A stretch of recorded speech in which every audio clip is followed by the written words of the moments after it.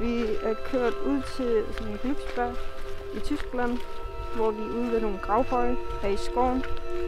Og så har vi kigget på dem, de forskellige kvinders gravhøje. Der smelter. Smelter sammen. Vi taler i tavshed. Vi eksisterer på tværs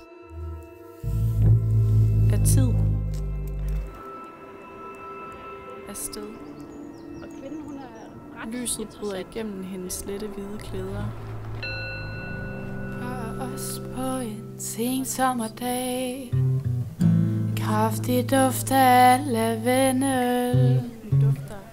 Når jeg venter på dig Altså, jeg tegnede det Står du alene med ryggen til mig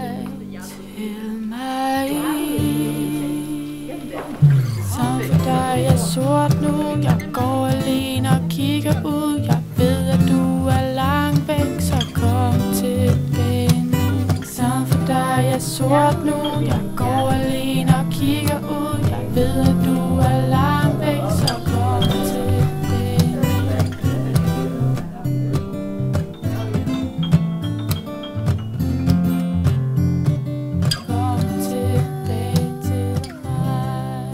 skal lave en workshop i morgen med øh, stærke kvinder og vores egen øh, kunst.